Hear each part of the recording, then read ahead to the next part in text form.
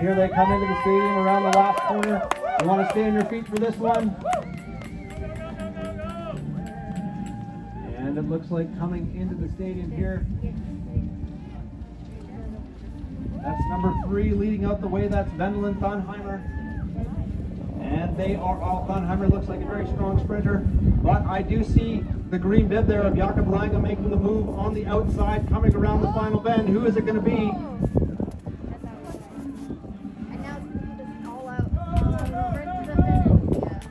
As we go into the final straight here, we have Jakob Lange on the left-hand side.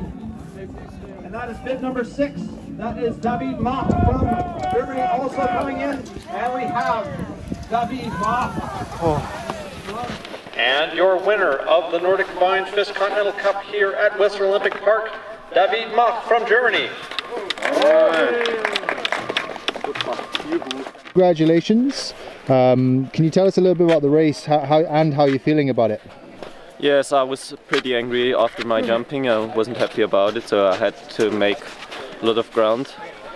But then I started really fast and skied with Jakob. I know he is always fast and we worked together and then we were able to catch them in the last lap because really tough conditions out there and yes, I'm happy that I won the first of my finishing sprints this season.